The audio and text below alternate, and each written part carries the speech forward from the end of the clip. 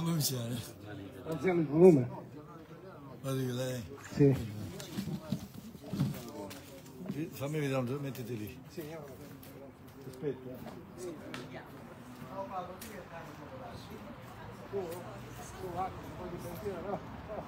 Questa gara a benzina. Sì? Ci siamo? Ci sentite? Si sente? All'ombra si sente?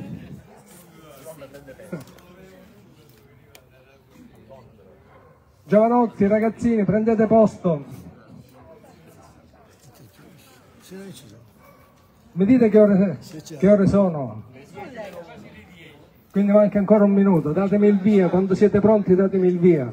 Ti informo che sei già in diretta. Eh. Sono già in diretta e tu mi dici sta maniera. Te l'ho detto. Va bene. È 59. Meglio. Cioè, ma tu non avevi dal tuo posto disponibile. Ha fatto la- Allora, mi dispiace. Svizzera.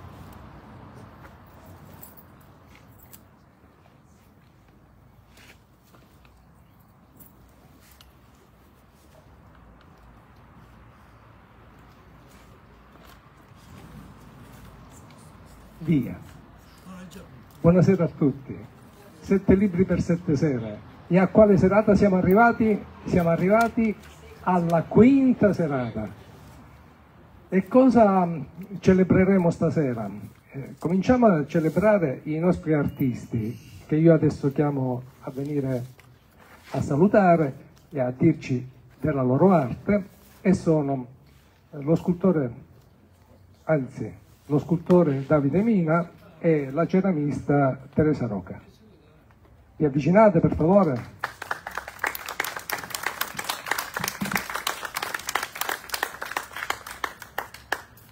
Prego, da questa parte Teresa. Allora, un po' di, di cavalleria. La parola a te, Teresa. Buonasera, Eh, sono molto emozionata, scusa. Eh, non si sente? Allora, buonasera, mi chiamo Rocha di Souza Teresa, ho 59 anni, eh, sono brasiliana, però molto, eh, è da tre anni che vivo qua in Calabria, è ottobre. Venuta, ho scelto di venire a vivere in Calabria dal Piemonte. Quando l'ho visto la Calabria la prima volta, dieci anni fa, e non sarei mai più tornata in Piemonte perché mi è piaciuto tutto, il mare, le montagne, le persone, il mangiare, tutto.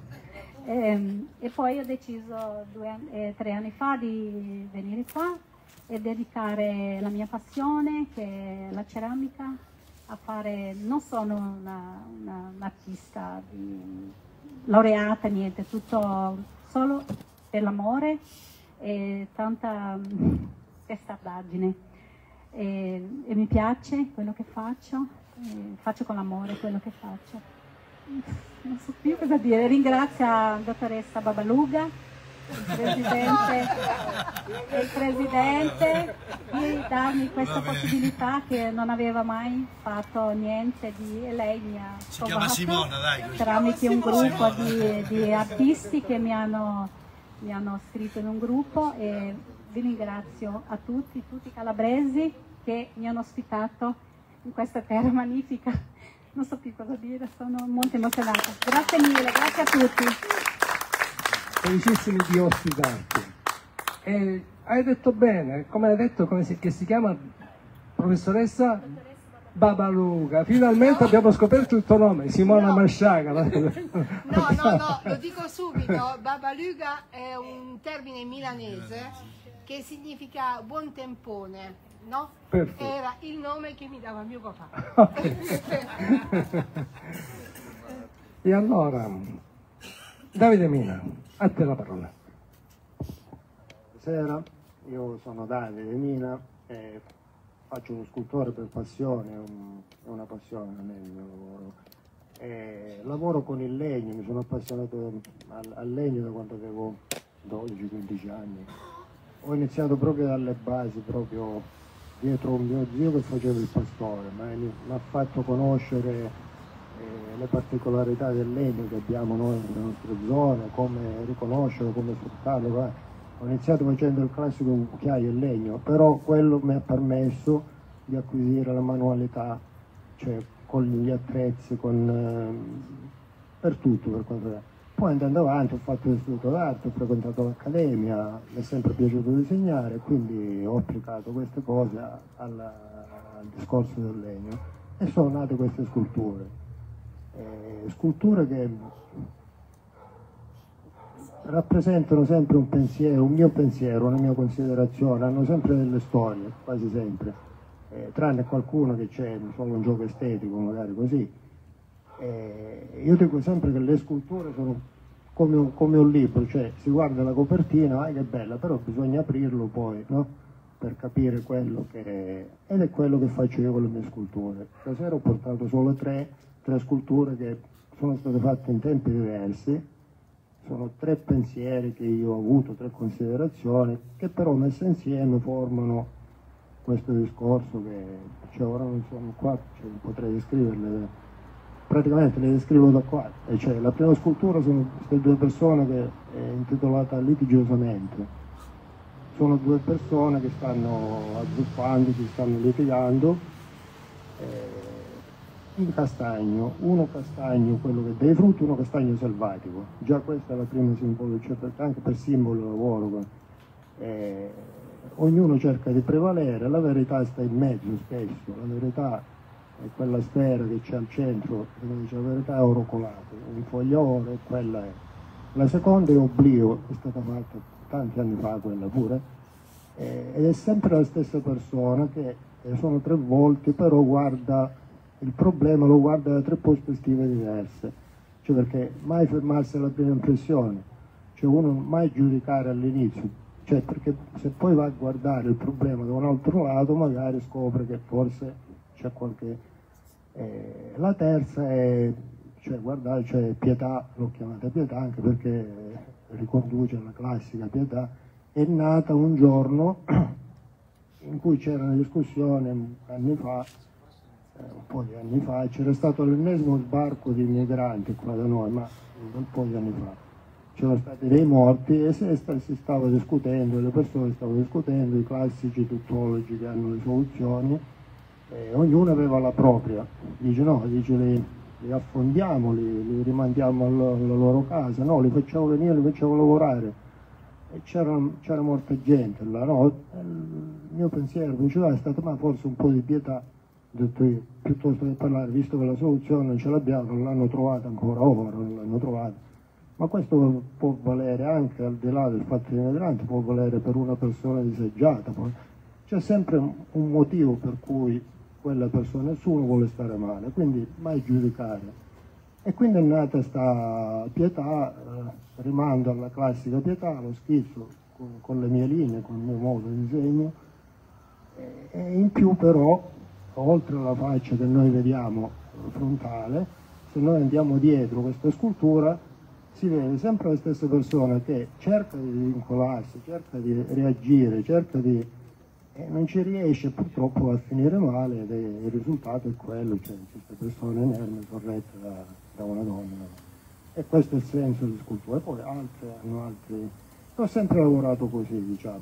Mi fa piacere, per me è un momento di, di libertà, cioè ho lavorato pure, ho costruito mobili, ho costruito cose, cioè, ma quella è un'altra cosa. La scultura è sempre stato un momento di libertà, di, ecco, per esprimere quello che volevo, come altro lo esprimo con la poesia, con la musica, con un libro. Con, ecco. Io, io mi esprimo così, forse così non riesco, ma magari nemmeno tanto. Forse con lo scolpello ci riesco meglio. Grazie, grazie. Grazie ai, no ai nostri artisti, potete accomodare, grazie ancora. E adesso, adesso eh, arriva il botto. Il botto chi lo produce? Un vulcano, un professore vulcanico. E chi può essere questo professore vulcanico? Daniele Castrizio. No.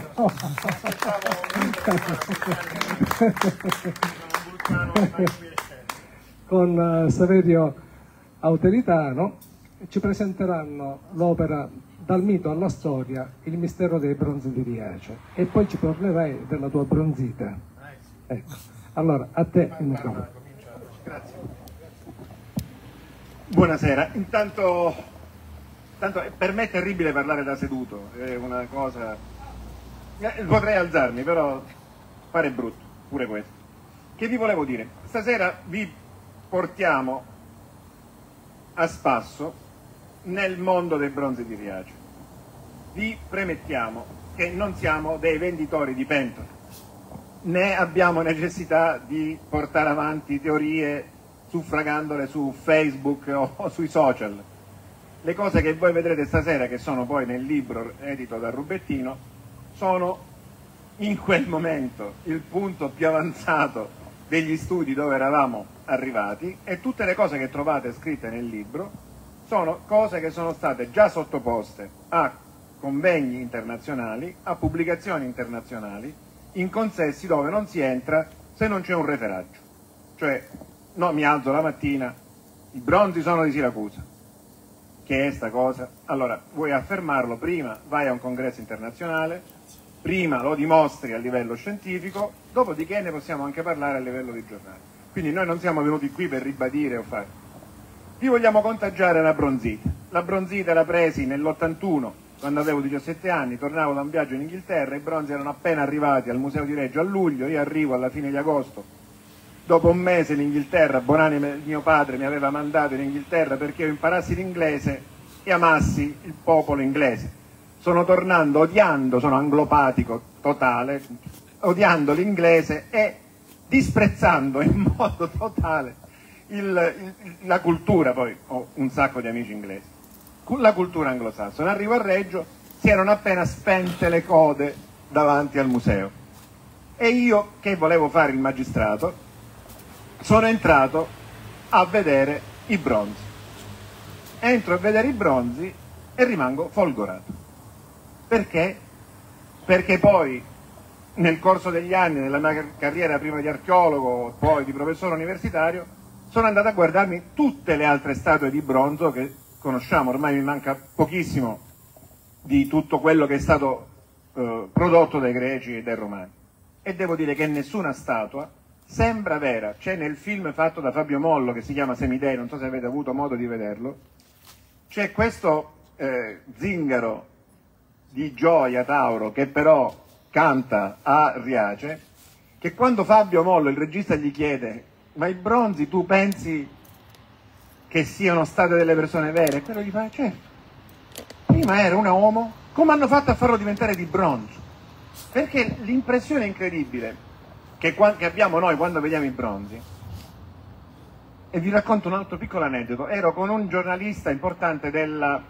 Eh, eh, del Frankfurter Allgemein, che aveva mi aveva fatto un'intervista sul cinquantenario dei bronzi. Ed eravamo insieme a vedere i bronzi al museo. E vedevo che lui rideva. Si guardava verso i bronzi Cosimo e rideva. E no, prima, seconda, terza, poi Calabrese sogno. Quindi gli ho chiesto, ovviamente, perché stesse ridendo. Mi fa, guarda, arrivano qui le persone, stanno quattro secondi, si girano, si fanno il selfie e nel momento in cui si fanno il selfie io rido, mi fa, perché l'essere umano pare il bronzo e noi sotto sembriamo delle caricature. Non siamo umani quanto il bronzo. La bellezza di queste statue. Se voi andate a vedere la seconda in ordine mio di importanza è il cosiddetto Cronide, per me è Poseidon, altri pensano che sia Zeus, che si trova al Museo Archeologico Nazionale di Atene. Io mi ricordo la delusione, l'ho visto nell'82, quindi avevo visto i bronzi e nell'81 mi era venuta la bronzina. Vedo il cronide nell'82 e sono deluso, perché sembra un otre gonfiato.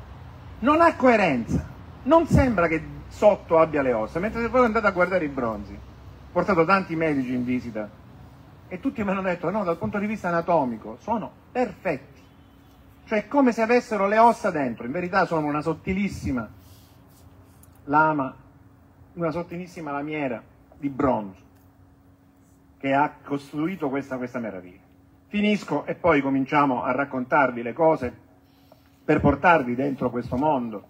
30 anni di ricerche, poi il grande aiuto che è venuto da un visual designer come è Saverio, il quale è riuscito a fare, e vedrete quante cose belle è riuscito a riprodurre, e come con una, avere a casa una riproduzione tridimensionale precisa dei bronzi permette giornalmente di fare delle acquisizioni nuove, perché siamo al punto che possiamo andare a guardare qualsiasi imperfezione sul bronzo.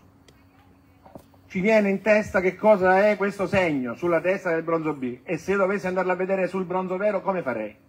Chi mi darebbe il permesso di andare ad arrampicarmi per vederlo? Abbiamo la ricostruzione perfetta e quindi possiamo lavorare da casa e ragionare e fare le nostre ipotesi.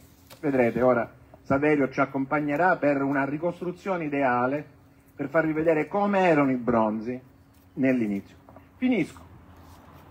Che cos'è la bronzite? Ma la bronzite è semplicemente che io da fine agosto dell'81 non riesco a stare lontano dai bronzi e se non vado almeno una volta al mese sto male. Quindi dall'81 a oggi sono andato tutti i mesi, almeno una volta al mese, a vedere i bronzi. E voi mi direte, e con la pandemia?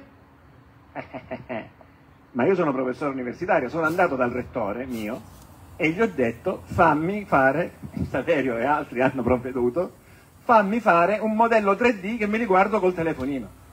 Per cui io durante la pandemia mettevo il target su dove quando mangiavo e col telefonino, col tablet mi vedevo i bronzi e così sono riuscito a sopravvivere anche alla pandemia perché la bronzite è terribile e siccome sono quasi un mese che non sto andando a vedere i bronzi non vedo l'ora che sia giorno 2 che faccio una cosa al museo e porterò delle persone a vedere i bronzi. Sono già emozionatissimo come se li vedessi la prima volta.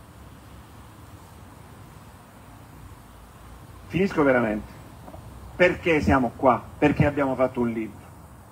Abbiamo fatto un libro perché non ci possiamo accontentare, questo su questo parlo anche a nome di Saverio e di Cristina, che è la terza autrice del libro che non parla mai in pubblico, perché abbiamo fatto un libro? L'abbiamo fatto perché non ci possiamo accontentare, noi non ci possiamo accontentare di un approccio estetico. I bronzi sono belli, ma i bronzi hanno un messaggio. I bronzi rappresentavano dei personaggi e questi personaggi avevano un importante messaggio politico che è stato talmente forte che quando sono stati portati a Roma, pensate, tutti da Cicerone in poi hanno utilizzato i bronzi come strumento politico per dire non bisogna fare la guerra civile. Sono diventati il punto di riferimento di poeti come Stazio, di altri grandi poeti romani, de, Lucano nei Farsaglia, tutti citano i personaggi dei bronzi che non conoscevano prima ma sono stati sono diventati importanti perché i bronzi erano belli pure all'epoca, erano straordinari pure all'epoca, per un monito politico importantissimo. Noi di questo parliamo, ma per fare le cose per bene, Saverio, che ha curato le ricostruzioni, è in grado di farvi vedere come leggere i bronzi. Cosa abbiamo fatto? Abbia, siamo andati a guardare i segni che sono rimasti sui bronzi e abbiamo cercato di capire quali elementi mancavano e li abbiamo rimessi al loro posto. Che non è facile, perché uno può dire manca sulla testa del bronzo ha un elmo corinzio, ma Saverio è stato costretto a prendere gli elmi corinzi di tutte le epoche fino a quando non ha trovato l'elmo corinzio che calza perfettamente. Guardate che Saverio è terribile, è terribile, cioè ogni tanto mi telefona e mi fa ma lo sai che l'elmo funziona? E io cioè, sei vero, certo che funziona. Sì, ma sai, appatta perfettamente. Gli facevo sì, per me era ovvio. Ma noi non si può convincere sulla parola mia, io dico una cosa e lui ci crede perché l'ho detto io. Quindi vi lascio nelle sue mani e poi tornerò e parleremo delle implicazioni delle fonti e le, e cose politiche. State tranquilli, non saremo molto lunghi e lasceremo spazio alle vostre domande che spero saranno numerose. Per intanto tenetevi, sapete. Grazie Daniele. Come Daniele hai anticipato è uno studio lunghissimo, lui studia i bronzi riace da una trentina d'anni, sì, infatti. Eh, ci conosciamo da una quindicina noi, e quindi... Eh, sono tanti anni che lavoriamo su queste cose, però vi posso assicurare, e lo so che sono di parte, ma Daniele è il massimo esperto su queste statue, lo dimostra la comunità scientifica internazionale, ma io vi dico subito perché. Allora, ha parlato di segni, Daniele, una cosa importantissima la lettura dei segni, che poi è quel metodo che eh, si sta ribattezzando metodo Bronzi-Riace a questo punto, no? perché si può applicare ad altre statue. La lettura dei segni che pochi hanno fatto in questi 52 anni ormai che sono passati. Molti dicono di averli studiati, ma solo superficialmente. Sul libro c'è tutto un resoconto che abbiamo fatto degli studi fatti negli ultimi 50 anni, eh, cosa funziona, cosa non funziona, perché si è giunti a un altro studio, che è quello che vi proponiamo, è quello che vi facciamo vedere nelle mie ricostruzioni. Allora, la lettura dei segni parte dalla testa, vi faccio vedere perché parte dalla testa, perché molti hanno pensato di mettere di tutto sulla testa di queste povere statue. Eh, qualunque cosa, cappelli a cono, eh, elmi di qualunque epoca, ma se uno legge bene i segni, guardate, vi faccio vedere, vedete questo triangolo sulla fascia e questo incavo dietro, sono anche i capelli appiattiti, sono il segno che c'era qualcosa, ma qualcosa cosa? Qualcosa che si abbatta con i segni che vi faccio vedere ancora qui. Vedete questi riccioli come sono modellati insolitamente? Perché si deve appoggiare un elmo, elmo che per resistere alle intemperie era fissato con un perno di cui ci, sono, ci è rimasto un buco e i segni del perno che ora è stato rimosso. Allora, vi faccio vedere cosa calza perfettamente come un guanto. Un elmo corinzio del V secolo a.C., non del terzo, non del quarto, non del... niente. Credetemi, ho provato a mettere di tutto. L'elmo corinzio del V secolo a.C. calza come un guanto su entrambe le statue, tra l'altro. Quindi già ci dà un indizio sulla collocazione temporale di questi due capolavori. Ho modellato due elmi veri che esistono, uno è costruito a Londra e un altro a Berlino, sono due elmi corinzi del V secolo a.C. Difatti li ho usati entrambi, li ho provati su entrambe le statue e funzionano perfettamente. Vi faccio vedere un po' la ricostruzione che propongo con tutti i pezzi al loro posto, anche gli occhi che vi spiegherò.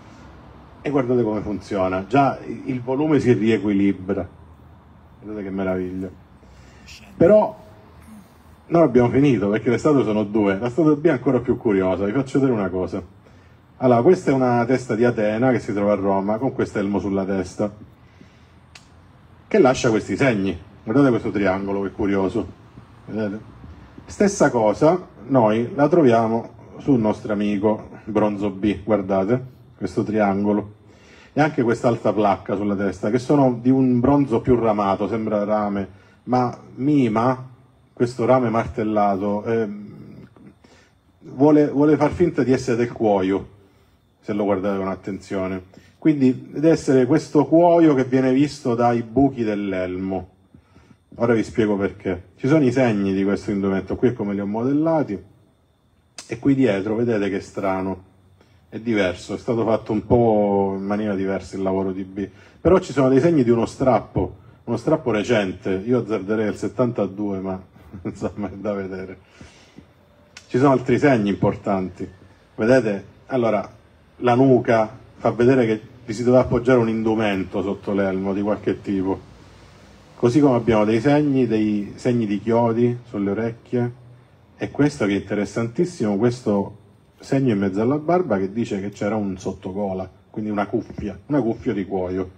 La cuffia di cuoio è una delle cose che ha scoperto Daniele nei suoi studi. Daniele ha scritto un bel libro che parla di segni di comando nell'antichità uno di questi è la cosiddetta Corinthia Chiunè, che qui vi faccio vedere accennata e ricostruita come deve essere indossata sotto l'elmo, ed è un'invenzione geniale se ci pensate, perché questa cuffia di cuoio che è il, il segno del comandante, del dello stratego, e questo ricciolo dietro eh, lo vedono solamente i tuoi soldati, quindi il tuo nemico non sa chi è il capo, ma i tuoi lo sanno. Una volta indossato l'elmo si vede solamente il ricciolo ed è un'invenzione geniale. Vi faccio vedere su una moneta dove l'ho evidenziato, questa è Atena, e vi faccio vedere anche questo Ettore che sta su un vaso a Roma, nei Musei Vaticani, dove si vede questo indumento antico, che già era antico per i tempi, se ho ben capito, vero Daniele? Qui vi faccio vedere la ricostruzione un po' più realistica, con i modelli 3D, vedete anche i segni dei perni che ho trovato sulla testa, permettono di fissare l'elmo perché queste statue stavano all'aperto e quindi bisognava fissare tutti i punti di criticità in qualche modo, quindi ci sono dei perni, dei punti di fissaggio. Ora, una cosa importante però, e qua bisogna spiegare un pochettino perché questi elmeno sulla testa. Perché questi elmeno sulla testa secondo te, Daniele? Allora, spiego ai miei ragazzi nelle mie lezioni universitarie che il mondo antico non è fotografico ma iconografico. Allora, la fotografia è la fotografia. Devo riprendere Saverio, faccio una foto e Saverio è com'è, lo vedete. Ma nel mondo antico iconografico, se io devo fare capire chi è Saverio, allora io userò segni iconografici, lo farò assomigliare per esempio al dio Efesto, se voglio rappresentare uno scultore. Lo farò, se è un generale, non gli metterò l'armatura sua, ma gli metterò l'armatura di Alessandro Magno. Nei film, penso al gladiatore, no? a un certo punto arriva Marco Aurelio con questa corazza anatomica con una testa di gorgone messa qua sul petto. E quella è l'armatura di Alessandro Magno. Ma quale imperatore nel secondo secolo d.C. avrebbe usato un'armatura di quarto secolo a.C.? È come vedere la Meloni vestita da Lanzichenecco. Non ha senso. Non ha, non ha senso. Lì si sta dicendo l'imperatore è il nuovo Alessandro Magno, vince come Alessandro Magno. È l'iconografia. I bronzi sono nudi. Ma non perché avessero caldo o perché non avessero i soldi, ma fanno morire gli anglosassoni che nelle loro ricostruzioni dei nostri guerrieri di IV secolo avanti Cristo li fanno sempre nudi. Ma, che, ma chi combatte nudo? Ma è cretino. In verità sono nudi perché nel mondo antico il vestito più presuntuoso è la nudità. Quando l'imperatore viene raffigurato nudo è perché è la nudità eroica, cioè si sta mostrando al popolo come un dio. Se avessero fatto una statua a me, il cappotto ci voleva. Ma questi sono due eroi e sono nudi, però dovevano fare capire che erano guerrieri. E allora gli hanno messo l'elmo, ma l'elmo in quella maniera non sta sulla testa. Io mi sono comprato un elmo a San Marino 36 euro. Ce l'abbiamo. Mi sono messo. Ce l'abbiamo? Ce l'ho, ce l'ho. Ce l'abbiamo. Mi sono messo e, e me lo metto, me lo, ora non lo faccio più perché gli esperimenti sono finiti. Me lo mettevo casa a casa, in questa maniera. Vedete che devo tenerlo con le mani, perché non sta, non sta in piedi, cade. Nei film però si vedono questi guerrieri greci che stanno con questo messo in questa maniera, che cade. In verità, se noi andiamo a fare un po' di storia dell'arte greca, fino agli inizi del V secolo a.C., questi elmi corinzi erano sempre mostrati calati sulla faccia, come l'unico modo per portarli. Poi qualcuno agli inizi del V secolo a.C. ha detto ma io voglio fare vedere la faccia di questo eroe. E allora gli hanno messo l'elmo spostato per l'alto. Ma è iconografia, non fotografia. Cioè la gente non stava con l'elmo in quella maniera. Era soltanto il modo di fare vedere il volto dell'eroe. Voi vi immaginate i bronzi con i due elmi calati? E come si capiva chi era uno e chi era l'altro? E le espressioni del volto che come vedremo sono molto importanti nei bronzi. I bronzi non sono a una foto di matrimonio o alla foto del passaporto, sono due che hanno due espressioni completamente diametralmente opposte, sono due attori fermi nel bronzo che recitano due parti diverse. Ecco perché l'iconografia è importante. Ma per essere un guerriero non basta solo l'elmo, ma bisogna anche avere altri elementi. E qui è molto importante. E Saverio adesso ci mostrerà cosa manca. Giustamente, se sono guerrieri dobbiamo cercare le armi. I segni ci sono tutti. Vi faccio vedere qualcosina. Guardate qui, i segni su braccio, avambraccio, tutto quello che c'è rimasto. Questo su B, questo su A, guardate, c'è il segno proprio. Di che cosa? Di lance o clitica, chiaramente. Se fate attenzione, impugnate anche in maniera differente, anche qui come accennava Daniele, le, oltre alle espressioni, anche l'atteggiamento del corpo è differente nei due personaggi. Ma se hanno le lance, due obliti hanno anche gli scudi, guardate, qui ci sono i segni su A, ci sono il Porpax, che è questo bracciale che si ancora allo scudo per tenere lo scudo, e l'antilabè, che è questa corda che corre tutto intorno allo scudo per stringerlo. Ora, questo è il pezzo che è stato trovato a Riace e che è pertinente alla mano di A. E proprio sembra un pezzo di corda fatto di bronzo. Quindi sicuramente si dice che c'è uno scudo. Stessa cosa con B, dove abbiamo anche un ulteriore segno di ancoraggio, per lo stesso discorso che vi ho fatto prima sulla spalla, perché devono stare all'esterno acqua, vento, qualunque cosa devono resistere. Quindi che abbiamo? Abbiamo due opliti armati, pronti a combattere, che impugnano le armi in modo differente. Vi faccio vedere una cosa curiosa, vi faccio vedere a confronto ricostruiti.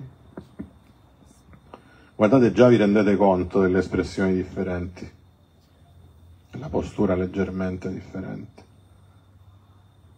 Eccoli qua. Uno e due. Questo invece vi faccio vedere lo scudo, la corda intorno allo scudo, che è quella di cui parlavo prima. Qui c'è Daniele che fa la dimostrazione in uno spettacolo nostro. Ma la cosa curiosa è come impugnano la lancia. Cioè, questo già ci dice molto. Che ci dice Daniele? Allora, come vedete il bronzo A tiene la lancia tra pollice, indice e medio. Chi ha fatto lo scout sa che così l'alpenstock viene tenuto, la bandierina degli scout si tiene in quella maniera e serve per evitare che sia, alla fine dà fastidio tenerla così, in questa maniera è molto semplice perché si appoggia come nel bronzo al braccio e si può camminare senza fare strofinare la punta perché non ci dimentichiamo che le lance degli antichi avevano due, due punte, la punta a foglia, quella per ammazzare in primo, in prima battuta, però dall'altra parte avevano un puntale che in caso che si fosse rotta la punta numero uno, la punta principale, le lance potevano essere girate e combattere, si poteva combattere anche nell'altro modo. Considerate che tra l'altro, non voglio farvela lunga, abbiamo promesso di essere brevi, Eh, una parola. ma il mondo antico aveva inventato un modo per cui io e Cosimo e Saverio potevamo combattere senza bisogno di allenarci tutti i giorni, che è la falange oplitica. Nella falange oplitica a me, a Cosimo e a Saverio ci avrebbero messo un'armatura di bronzo, che poi non era bronzo nel periodo dei bronzi, è un'armatura di lino cotto che è ancora più forte e potente, il Kevlar moderno ha ripreso l'idea di questa armatura di lino cotto che usavano i greci antichi. Scudo di bronzo, elmo di bronzo, schinieri di bronzo. Praticamente eravamo un muro di bronzo messi uno vicino all'altro. Non dovevamo sapere fare niente, dovevamo alzare la lancia e fare bu o insultare la mamma di quello che avevamo di fronte. Questo era tutto lo- l'obbligo che dovevamo fare. Ci dicevano l'unica cosa che non dovete fare è voltare le spalle e scappare. Per il resto fate quello che volete, state fermi, avanzate, tutti vicini. Se mi avessero fatto combattere a me con la spada, sarei morto immediatamente. Perché non eravamo spartani che, che ci allenavamo tutti i giorni. Eravamo professori, contadini, artigiani, ingegneri, che venivamo chiamati a combattere e che col sistema della falange oblitica potevamo combattere senza bisogno che ci dovevamo allenare tutti i giorni della nostra vita. Allora è importante tenere la lancia in ordine. Come diceva Saverio, a cui ripasserò subito la parola, per parlare credo del colore, Eh sì. che è la cosa Sì, importante, parliamo del colore. il bronzo A tiene la lancia con spavalderia. Cioè, se io sono in questa posizione, prima di combattere, devo fare due o tre movimenti.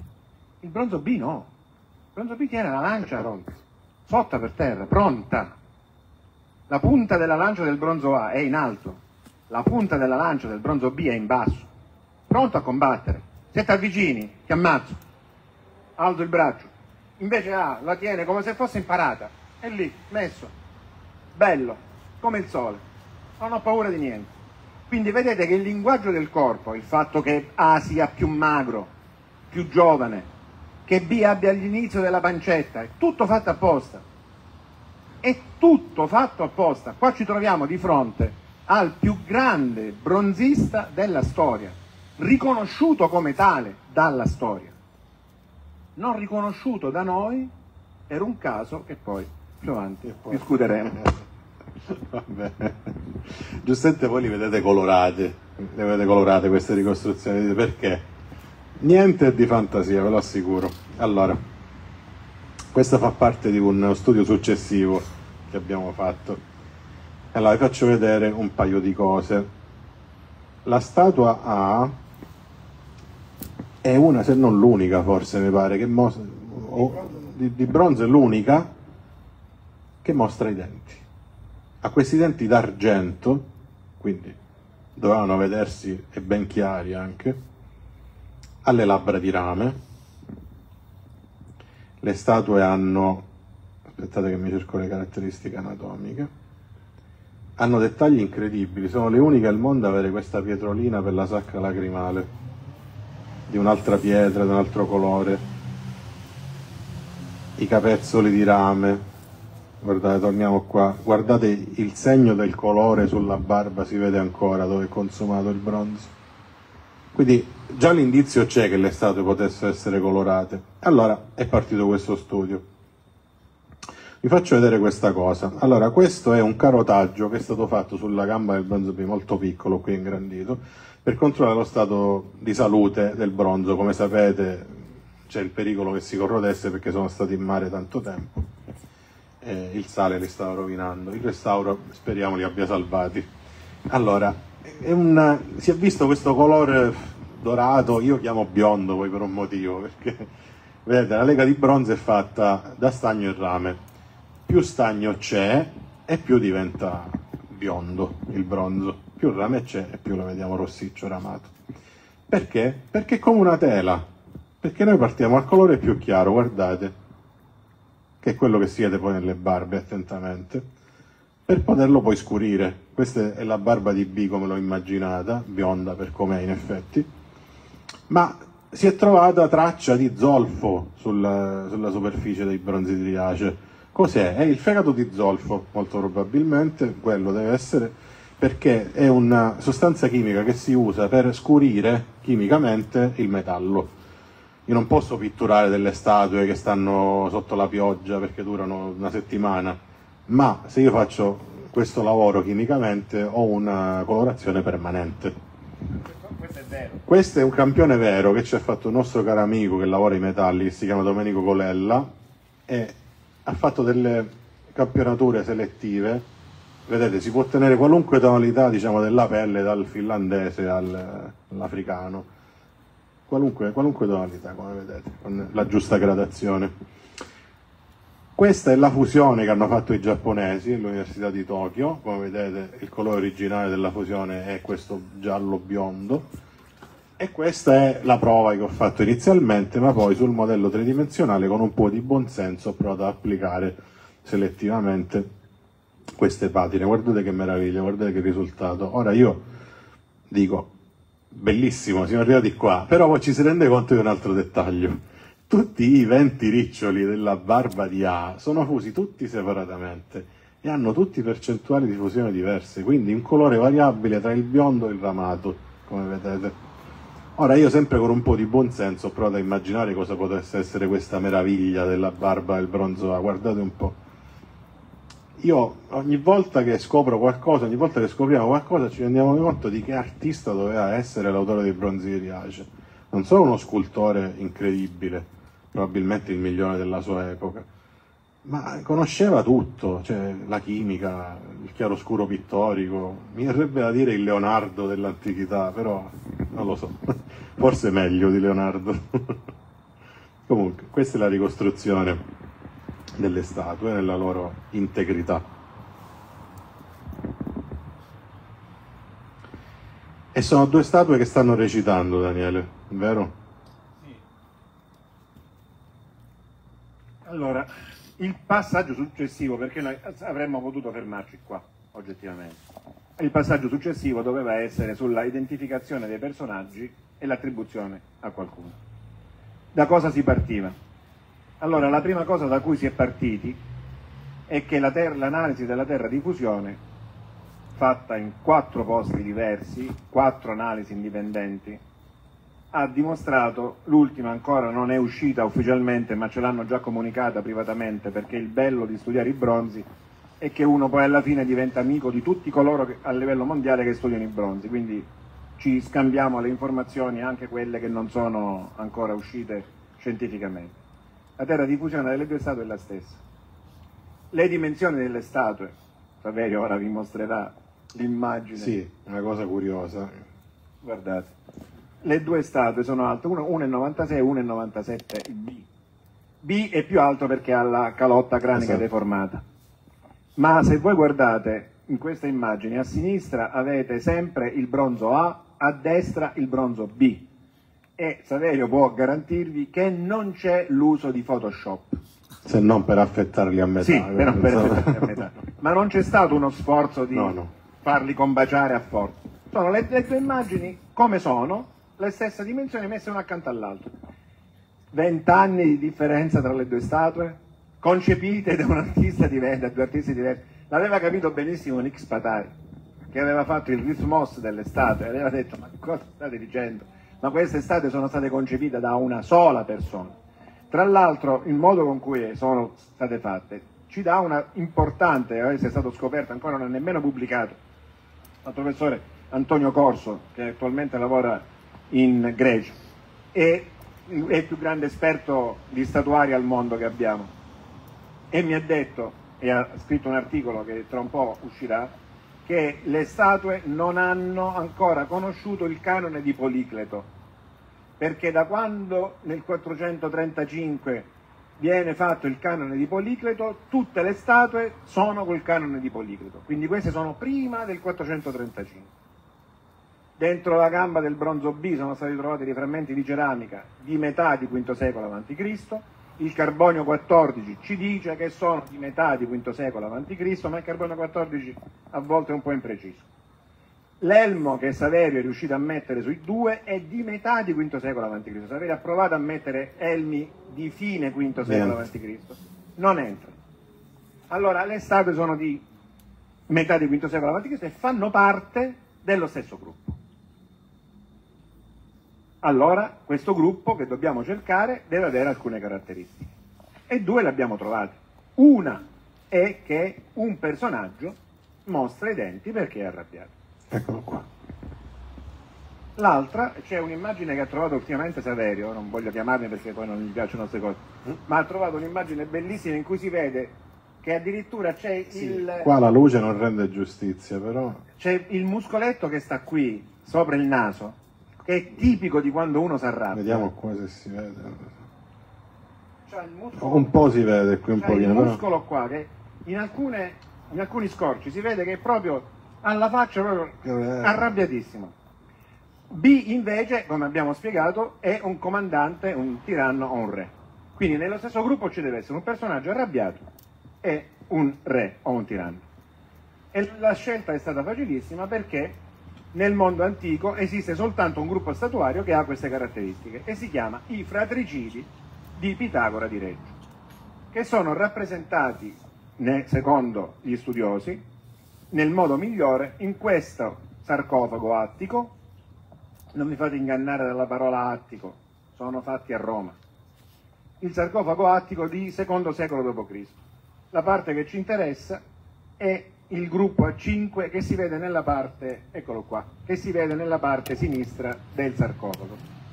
Si tratta del momento più terribile dello scontro tra Etreo, Eteocle e Polinice, i figli di Edipo, che arrivano addirittura a scontrarsi in guerra per il, po- per il possesso di Tebbe e dopo che c'è stata la grande battaglia sotto le mura di Tebbe in cui gli argivi guidati da Polinice sono stati sconfitti, decidono di fare un duello per risolvere le cose. Ma arriva la madre per fermarli. E noi abbiamo la fortuna, tutte queste cose si trovano nel C'è- libro spiegato un po'. altre, altre testimonianze sempre a Roma. abbiamo, la- abbiamo avuto la fortuna di avere il testo letterario da cui è stata presa l'idea dei bronzi. Cioè noi siamo in grado di fare parlare il gruppo che abbiamo ricostruito sulla base della- del sarcofago di Villa Doria Panfili, Che è questa? Eccolo qua, il gruppo, vedete, un gruppo a 5, Eteucle, il figlio maggiore di Edipo, che ha preso il potere dopo che il padre ha abdicato, ma aveva promesso al fratello di restituirlo dopo un anno. E quando torna Polinice, dopo un anno, Eteucle lo bandisce senza un soldo, vai via cane. E Polinice va alla corte del re di Argo, sposa la figlia del re di Argo e il re di Argo gli manda un esercito per i sette a Tebbe per riprendere il trono. Grande battaglia, grande sconfitta degli Argiri, si finisce con un duello. Questo è il momento del duello. I cinque personaggi sono Polinice, che vedete in primo piano, Antigone, il prototipo delle sorelle, che cerca di calmare, che cerca di calmare Polinice. Al centro abbiamo la madre, straziata, io non so quello che darei per trovare la statua della madre, deve essere il più grande capolavoro della storia, veramente, che cerca di fermarli, e dall'altra parte il personaggio caratterizzato da questa postura che significa sono in angoscia nel mondo antico, è Tiresia. Tiresia che è un po' il motore immobile di tutta questa storia, perché Tiresia quello che aveva brigato per non fare salire al trono Polinice e Tiresia era quello che aveva detto che Apollo gli aveva predetto che se i due fratelli si fossero scontrati in combattimento sarebbero morti entrambi. Questo è il succo politico di questa cosa. Se due fratelli si scontrano non ci sono vincitori. Su questa base il gruppo è finito poi a Roma, non abbiamo il tempo per fare tutta la storia perché vorrei che ci fosse tempo per le vostre domande. Su questa base è finita a Roma, per questo motivo Augusto l'ha messo nella curia di Pompeo dove era stato ucciso Cesare per dire le guerre civili sono finite. Nelle guerre civili e due fratelli si combattono, perdono tutti e due. E da quando i bronzi arrivano a Roma, Cicerone chiama Cesare Pompeo, Eteocle e Polinice. E tutte le volte che si parla di discordia interna, esce fuori Eteocle e Polinice. Come modello negativo, il gruppo che abbiamo visto era il modello politico. Costantino se li è presi e se li portava a Costantinopoli per ribadire il concetto non, le guerre civili fanno male a tutti. Nessuno può pensare in una guerra civile di avere la vittoria, perché nelle guerre civili, come nelle guerre tra fratelli, perdiamo tutti. Questo è il grande messaggio. Solo che non ci sono arrivati a Costantinopoli. No, a Costantinopoli non ci sono arrivati. Io mi fermerei un attimo, Savio, se non ti dispiace, mi, dispiace chiamarti no, le cose. Dimmi. E se possiamo vedere la più grande fortuna, perché ho avuto due grandi fortune in questo studio, più, più di, ora l'altra poi ne parlerà sì, lui vabbè, che no, è la base, abbiamo, stiamo eh. avendo una fortuna dopo l'altra, però la, più, la, prima fortuna fu quando trovai un passo di Stazio, il poeta Fabio mm. Stazio, che a Roma nel, 90, nel 96 d.C. scrive la Tebaide e racconta questa storia, e l'undicesimo libro è tutto dedicato al duello allora, nel momento del duello, la prima parte del libro sono cinque personaggi che parlano, che sono questi cinque, e a un certo punto, quando entra in, entra in scena Eteocle, e si vede, e lo vede Polinice, il fratello, il fratello ostile tuens, dice in latino, lo guarda in maniera ostile. Perché? Stazio. Perché gli vede sulla testa l'elmo del re, gli vede la chionetta. Per cui Stazio vedeva i bronzi di Riace. Descrive la madre per come la troviamo nel, nel sarcofago e nelle altre, perché noi abbiamo una ventina di eh, immagini che vengono da questo gruppo statuario molto famoso nell'antichità, citato da un grande poeta, si, un grande retore cristiano che si chiama Taziano il Siro, il quale alla metà del secondo secolo d.C., dovendo fare un discorso contro i pagani, lui era cristiano, dice, enumera tutti i miti che sono immorali dei pagani Zeus che è un, uno che va a femmine, si è, si è rapito Ganimede, pedofilo, cioè, tutti questi miti brutti, Europa su toro che viene rapita, ma la tua, la tua incontinenza sessuale fa rapire, ti travesti da toro per poter rapire una fanciulla, ma quanto fai schifo? Dice, voi pagani tenete in onore il fratricidio, perché vedendo, in greco è orontes, vedendo voi romani che siete qua, il gruppo di Eteuro e Polinice, non li mettete sottoterra insieme all'oratore Pitagora di Reggio. Ci dà il nome e l'autore. Metterlo sottoterra, tra l'altro, è bellissimo perché in greco è katabotrosantes, che vuol dire metterlo in un botros. Il botros è una fossa sacra dove si mettono gli oggetti sacri che non possono essere più utilizzati. L'oggetto sacro non può essere buttato nella spazzatura. L'oggetto sacro va messo in un botros e nascosto sottoterra. Quindi grande rispetto. L'altra grande fortuna è stata quella di andare a leggere il papiro di Lille, opera di Stesicolo di Metauro, cioè di Gioia Tauro, che i bronzi di Riace sono di Pitagora di Reggio e su una storia fatta da Stesicolo di Gioia Tauro. Per la serie La Calabria non conta niente, non abbiamo mai fatto niente nel mondo, tutte queste belle cose. Il papiro di Lille, pare arabo ma come combinato. Eh, così. E lo so, è il papiro di Lille e il discorso ci restituisce due discorsi. Ci restituisce il discorso della madre, quindi voi avete presente l'immagine della ricostruzione che Saverio ci ha fatto vedere, la madre al centro prende la parola e dice, ve lo dico in estrema sintesi, figli, Pitagora ha detto che se voi vi scontrate morite tutte e due. Allora facciamo una bella cosa, facciamo un bel sorteggio, chi vince si prende il regno, chi perde si prende tutto l'oro e tutto il bestiame e se ne va. I due furono d'accordo, c'è scritto nel papiro di Lille. Ma poi parla Tiresia. E Tiresia dice, un momento, il popolo di Tebbe non accetterà mai Polinice, che è venuto con un esercito e ha fatto morti nostri, nostri figli, nostri fratelli, nostri cugini, nostri amici. Noi non l'accetteremo mai come tiranno. Noi vogliamo Teocle. Egli dice, tu Polinice hai sposato la figlia del re di Argo, sarai re di Argo, vattene ad Argo, prenditi il bestiame, prenditi l'oro e vattene. Le ultime parole che si leggono sono Polinice si arrabbiò. E ancora, come vedete, è ancora arrabbiato, un maricchietto. E ci potremmo anche fermare qui, ma non ci fermiamo qua, vi rubiamo altri 5 minuti, perché vi dobbiamo raccontare tre cose velocissime delle ultime colpi fortunati il primo colpo fortunato, Saverio ci racconta, Argo.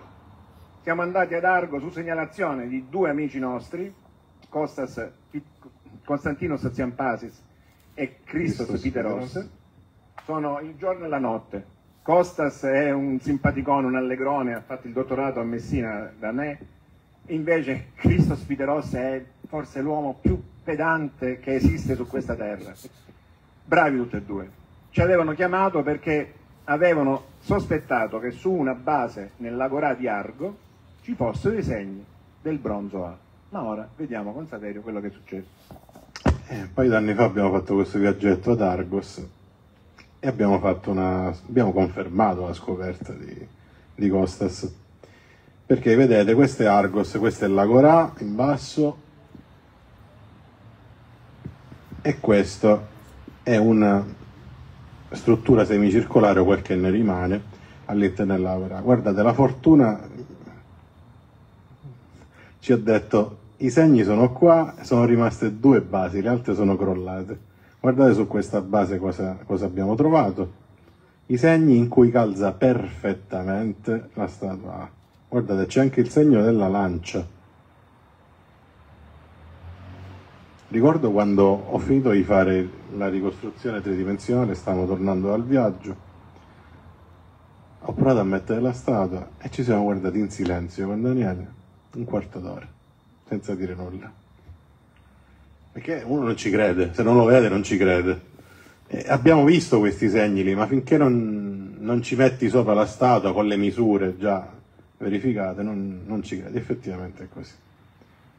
Vedete, ci sono i segni dei piedi. Guardate, c'è anche il segno di scasso avanti, perché poi le statue sono state portate via. E quando abbiamo visto le impronte, proprio il segno delle dita, già eravamo a cavallo, mi ricordo. Solo che ci siamo fatti una domanda curiosa. Dice, ma i tenoni? I tenoni sono quelle parti di piombo che sono state trovate attaccate alle, ai piedi dei bronzi Riace, che probabilmente sono stati messi a Roma, perché anticamente non si usavano. Le statue stavano in piedi per gravità. Prima Daniele vi ha parlato di canone per un motivo ben preciso, perché la statua sta in piedi, aspettate vediamo se riesco a farvela vedere questa cosa. Ok. la statua sta in piedi col peso della terra di fusione all'interno e, e, del, e del canone che è stato rispettato. C'è uno studio preciso che veniva fatto per farle stare in equilibrio. Le statue oggi pesano molto meno perché sono state svuotate della terra di fusione, quindi non possono stare in piedi sole e hanno delle armature dentro. Però questa cosa è curiosa perché poi ci siamo guardati intorno in tutta la gora di Argos c'erano solo segni di statue senza tenoni, di statue che stavano in piedi, di segni dei piedi di statue che stavano in piedi sole. E quindi a tutti quelli che facevano domanda, sì, ma i tenoni, i segni dei tenoni, eh, una risposta immediata, non, non ce n'era bisogno. Poi a Roma c'era questo uso, questo magari ve lo so spiegare Daniele perché io no, però sicuramente sono più recenti. E questo è la prima, il primo colpo. Ora il secondo colpo. Il secondo colpo invece, non so se lo vuoi spiegare tu, no? Lo spiego io. Vedete, questo è un altro segno. Allora, il secondo colpo è che mentre scavavano in un posto ad Argos per costruire un palazzo. la concessione della Toyota che oggi poi l'ha costruita sopra. E hanno trovato una fornace. Una fornace all'interno della quale hanno trovato delle statue mezze smontate, alcune fuse, insomma. La fortuna vuole che è stata trovata questa statua da Peter Ross, uno degli archeologi che abbiamo nominato. Se voi guardate bene, questa statua ha un panneggio, ha un braccio di una persona di una certa età, somiglia molto, manco a farlo apposta, aspettate che vi faccio vedere, a questo signore qui, il secondo da sinistra. Ora io l'avevo modellato prima di vederla questa statua quindi mi, viene da ridere, perché poi uno trovare le conferme così veramente rimane senza parole. Questa statua è rimasta ferma 20 anni, penso, negli, 40, 30 anni negli scantinati del museo di Argos. Siamo dovuti arrivare noi per dirgli cosa avevano trovato probabilmente, cioè una statua dello stesso gruppo statuario dei Bronzi Riace, affinché partisse il restauro. Questa statua adesso è ad Atene e la stanno restaurando ancora non ce l'hanno fatta vedere, ma speriamo presto, insomma. Però esatto, lo spiego, eh, spiego, spiego, spiego. Hanno analizzato la terra di fusione di questa statua, è identica a quella dei bronzi. Identica, anche il bronzo ha le stesse percentuali di quello dei bronzi. Probabilmente abbiamo trovato la terza statua. E Saverio è riuscito a trovare anche il segno della quarta, perché sulla base Probabilmente. Accanto, il rilievo, allora, vi faccio vedere questa cosa, allora, di tutta la struttura sono rimaste le prime due basi, quelle in alto, A e dove c'è il segno di A, c'è l'altra base accanto. Io avendo fatto il rilievo di questo ambiente che vedete, ho detto vado a sbirciare, a sbirciare ho trovato un'altra impronta, un'altra impronta un po' più piccola che ci dice che si tratta di un piede femminile, guarda caso. Ora, lo studio sicuramente è da fare, ma io ho provato a metterla la statua così, per ora per gioco, perché purtroppo non possiamo confermare nulla finché non viene fatto uno studio serio. E ci può stare, perché queste statue sono state ricollocate su queste sedra e in quel posto ci doveva stare proprio Antigone. Quindi funziona, funziona secondo ricostruzione.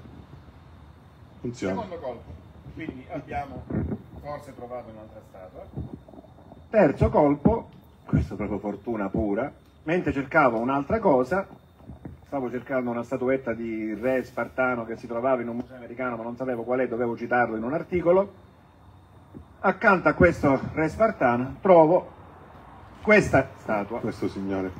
32 centimetri, siamo in un museo del Connecticut, la statua è stata regalata lì da JP Morgan JP Morgan, JP Morgan, quello della JP Morgan, e l'ha regalata a questo museo. E la cosa veramente incredibile, eccola qua, è una bella statuetta di 32 cm. La cosa bella e incredibile è che non si sono accorti, l'hanno studiato in tanti. Non si sono accorti di questo. È il bronzo A. Guardate la forma della... e anche pure la, la bocca. bocca aperta. È il bronzo A. Ma dove è stata trovata questa statua? Questa strada è stata recuperata, ho scritto, e sono stati cortesissimi i responsabili del museo Wadsworth Athenaeum Museum of Connecticut. E mi, ha- mi hanno risposto veramente il giorno dopo e mi hanno mandato tutto l'incartamento. Questa statua è stata trovata nel Tevere nel 1906. Quindi è la prova provata che i bronzi sono stati a Roma. E lì sono stati copiati. Non che avessimo dubbi. No, non che avessimo dubbi perché avevamo un sacco di prove. Però. Però questa, questa è, è- è, come dire la prova provata. Guardate la mano, si vede che il dito è messo in quella maniera perché teneva la mano con la... cioè, è incredibile che fanno libri, ora è uscito un libro dalla parte della sovrintendenza sui bronzi, fatto apposta con un nome simile al nostro per, perché sono fatti in questa maniera. E l'arti- la- l'autore, che è un collega dell'Università di Foggia, parla di questa storia e non si accorge che il bronzo ha. Quindi grandi, grandi esperti di bronzi noi ne abbiamo. Questo è un po' lo stato della ricerca al momento. Mi sono dimenticato qualche cosa? Tante. cose che vengono fuori Sì, poi ma ci se avete curiosità e cose vedrete, tra l'altro io, come dire, consiglio, non comprerei mai il libro per quello che ho scritto io nel libro, ma lo comprerei per le immagini che avete visto che sono tutte là dentro. E questo è un modo, abbiamo provato a farlo leggere anche a dei ragazzini, ecco, è un modo per appassionarli all'archeologia, perché in questa maniera loro vedono, ormai siamo una generazione, io sono un boomer, però fino a più, vediamo, vogliamo più vedere, essere convinti con le immagini che essere convinti con le parole. Però ci sono anche le parole, ci sono i libri, è un testo scientifico, però è reso in maniera tale che chiunque può farlo. Saverio, se non vuoi aggiungere altro, io chiuderei qui e vi lascerei, se avete voglia, il tempo e lo spazio per farci domande, critiche, pomodori, lattuga, uova marce, insomma, fate quello che volete. Noccioline.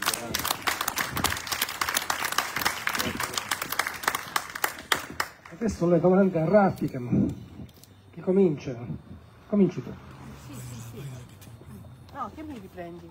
Eh, No, io volevo dire soltanto una cosa.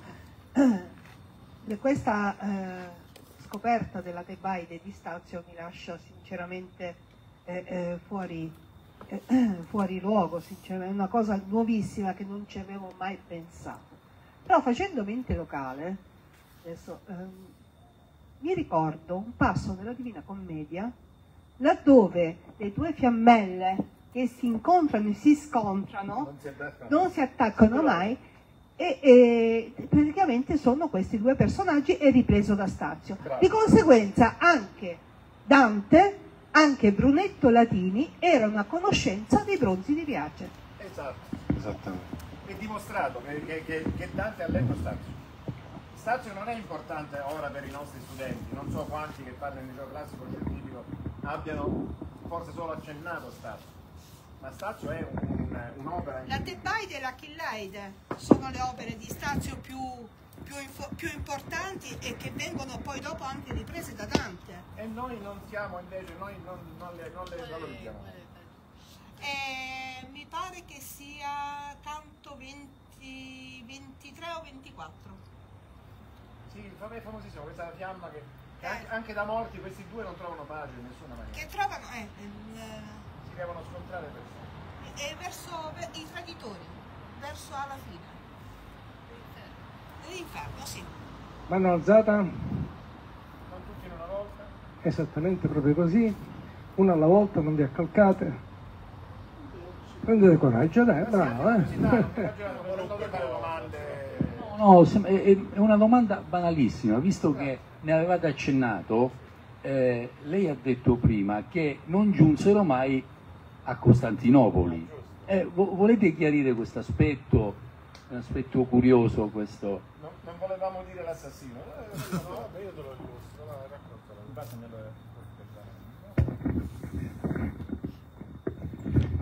Allora, ovviamente quando si parla scientificamente non bisogna dare retta alle proprie ipotesi, ma bisogna andare a guardare i dati. Il dato da cui siamo partiti è questo. Questa è la foto scattata dal giudice Rizzo il giorno che il bronzo A è stato tirato fuori. Vedete che c'è quel frammento di parete di frammento, un bel pezzo di parete di anfora che si trova al braccio. sono andato a guardare come l'avevano schedato i miei colleghi archeologi della sovrintendenza, avevano detto che era di tutto e di più. Soprattutto avevano detto che quel frammento di ceramica era capitato lì per caso.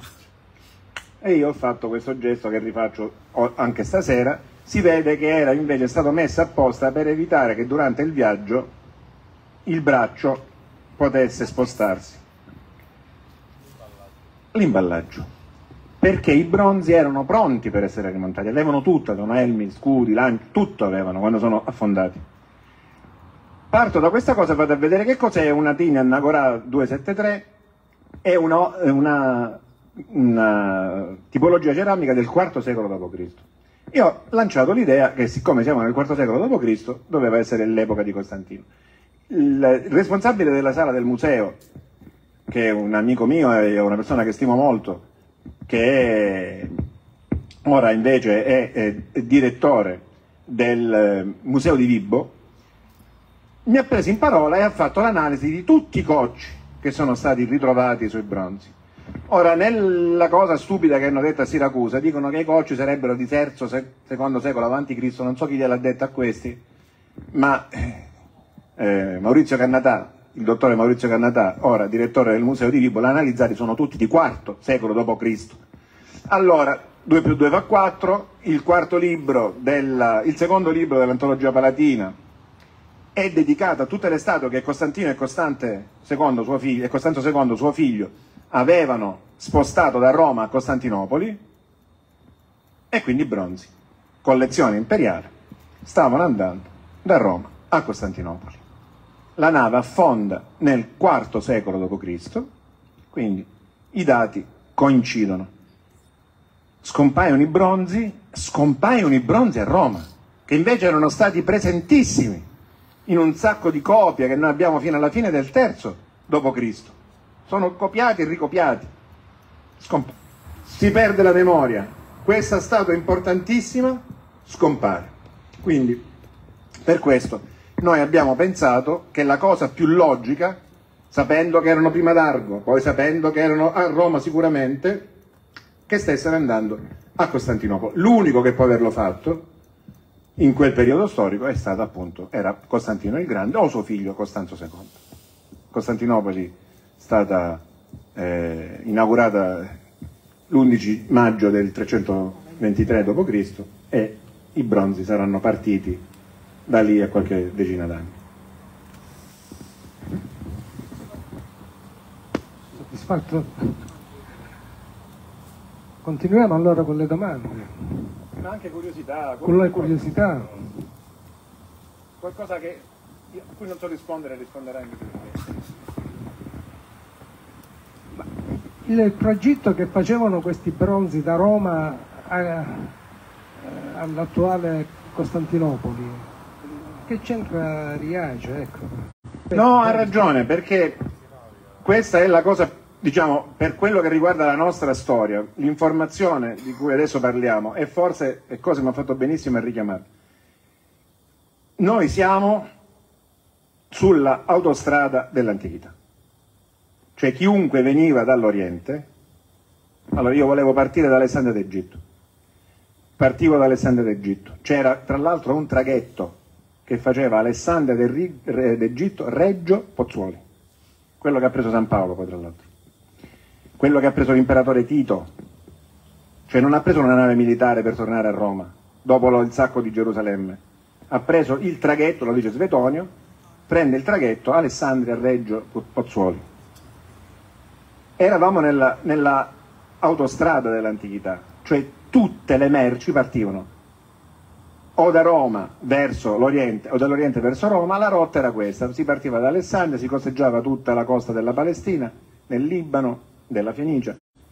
Eh, la Siria si arrivava sotto Cipro, quindi si faceva tutta la costa meridionale dell'Asia Minore, si arrivava fino alla Caria, alla parte terminale dell'Asia Minore, lì si puntava su Rodi, Rodi, le isolette vicino Rodi del Dodecanneso e si arrivava a Creta.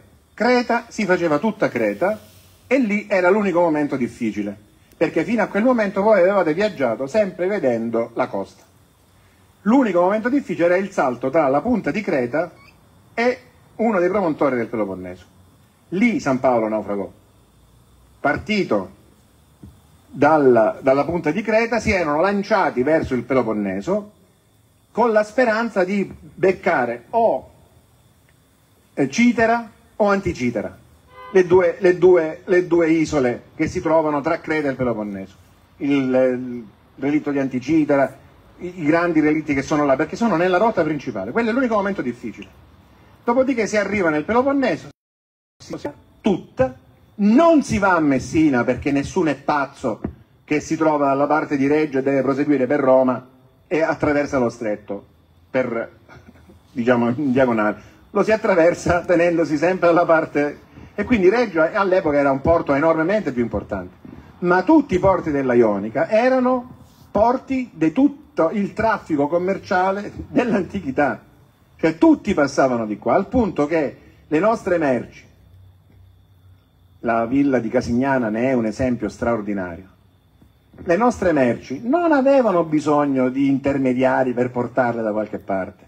Le navi onerarie passavano, dormivano ogni notte in un porto. E che facevano i grandi proprietari terrieri? Avevano messo degli empori ai porti e lì vendevamo. E che vendevamo? Il nostro formaggio, tanto apprezzato da Teodorico, Cassiodoro lo dice, che volevano soltanto il formaggio dell'Aspromonte. Vendevamo il nostro vino, il vino passito, che era caratteristica nostra, ma vendevamo anche pergamene, inchiostro, vendevamo i nostri prodotti. E noi non avevamo bisogno, e poi tutta la ceramica che facevamo, non avevamo bisogno di andare ad avere intermediari che andavano, commessi viaggiatori, tutti passavano da qua. Quindi la domanda di Cosimo è pertinentissima, cioè i bronzi sono passati da qua e sono naufragati poco più a nord di qui perché era l'unica strada. Tutto il mondo passava di qua. L'autostrada dell'antichità. Noi non capiamo cosa voleva, no, non riuscirò stasera a farvi capire che cos'era la prima globalizzazione, cioè quella globalizzazione che c'è stata tra il secondo secolo e l'arrivo degli arabi alla, alla metà del settimo. Noi potevamo trovare su qualunque porto, in qualunque porto, qualunque merce, basta che questo porto si trovasse sull'autostrada. Ma noi eravamo sull'autostrada e non per un pezzettino piccolo, c'eravamo tutti ed, ed era una cosa straordinaria per noi. Ecco perché i bronzi sono finiti qua, che poi tra l'altro sono finiti qua in un punto in cui non ci sono grandi approdi. Sono, nessuno ha mai ragionato sul fatto che i bronzi sono stati trovati di fronte a Porto Forticchio, che è un porto romano c'è un'attinenza tra la nave dei bronzi che non è ancora stata trovata e il porto romano lì vicino. Erano diretti là, erano appena usciti da là. Avevano, mentre uscito era cambiato il vento, era arrivato lo scirocco e se, l'era, se, l'era, se l'era, gli aveva rotto la nave. Non lo sappiamo. Se non troviamo il relitto, ora stanno cercando in questo momento, è impedita la navigazione davanti a Riace perché ci sono i carabinieri che con, la, con la subacquea, con l'archeologa subacquea Alessandra Ghelli stanno facendo le ricerche che noi auguriamo siano fruttuose e trovino finalmente il, il relitto. Quindi ecco perché erano a Riace. Ma la cosa incredibile, mi faccio la domanda da solo. Ma stu Pitagora, che noi non conosciamo, guardate che tutte le fonti antiche dicono che Pitagora era il numero uno. Vi cito la fonte più assurda, si chiama Mara di Samosata è un cristiano di terzo secolo d.C. che vive a Samosata, cioè vive in Kurdistan. Mara di Samosata dice questa frase. Socrate non fu dimenticato perché Platone ha scritto i suoi libri. Il maestro non è stato dimenticato perché i quattro evangelisti hanno scritto la sua opera. Pitagora non sarà mai dimenticato perché rimarrà immortale la statua di Era cioè Pitagora nel III secolo d.C. era considerato ancora il più grande di tutti i maestri della storia. Ma dovete leggere quello che dice Plinio di lui, quello che dice Cicerone. Cicerone dice che sulla, ce l'abbiamo tutti sulle banconote, la testa dell'Europa sul toro, opera di Pitagora. Dice Cicerone, i tarantini ce l'hanno e non c'è cifra che vorrebbero avere per poterla dare via. Poi i romani se la sono fregata lo stesso. Pitagora era un geniaccio. Saverio ha fatto un bellissimo lavoro cercando di ricostruire i principali, le principali statue su cui ancora si può parlare di Pitagora. Merita, meriterebbe un altro libro a parte. Il problema di Pitagora è stato una studiosa tedesca, la quale ha fatto questo libro che si chiama negli anni 50, che si chiama Pythagoras von Region eine Phantom, un fantasma. Non ha capito niente. Le fonti dicevano, i savi di Pitagora avevano il riccio, i belli, eh, le, le barbe fatte bene, le vene. Lo dice Plinio, ma di quale riccioli sta parlando Plinio a Roma? Sta parlando dei riccioli del bronzo A.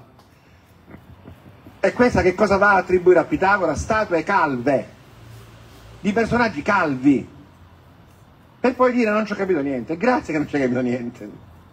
Invece di partire con la storia iconografica, ragionando invece, sarà un'occasione di un altro incontro se vorrete e quando vorrete, abbiamo trovato statue importantissime, il Filottete, l'Apollo che uccide il, il Pitone a, a, Delfi, oppure c'è rimasta a Roma una parte del toro dell'Europa su toro di Pitagora, che è stata scoperta dal sovrintendente di Roma e quindi statue importanti, il Perseo che sembra volare. Ci, ci sono statue che siamo riusciti, o l'Omnaseas di Cirene che vince sulla quadriga, ci sono statue di cui ci sono rimaste immagini. Filottete è il più importante, in cui eh, finisco, vi giuro, poi ce ne andiamo. E, il, nel, Filottete è una, un'opera che Pitagora fece a Siracusa. L'Apollo che uccide il serpente lo aveva fatta a Crotone, e aveva fatto a Taranto eh, Europa su Toro. Eh, però Pitagora aveva quasi sempre lavorato nel Peloponneso. Eh, è quell'altra cosa, che certo sai. Eh,